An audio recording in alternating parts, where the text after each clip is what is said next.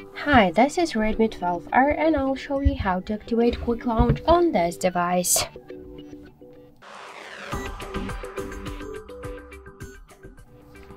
So open first settings application, then scroll down to the additional settings.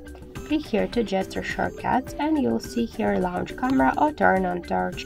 You could use one from these available options. For example, let's use the torch by double press to power key button. So tap to the switcher to activate this option and now let's press twice to the power key and we could see that the flashlight successfully activated.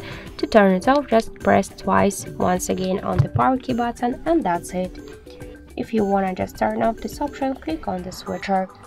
So that's it, thank you for watching and if you like this video, leave thumbs up and subscribe.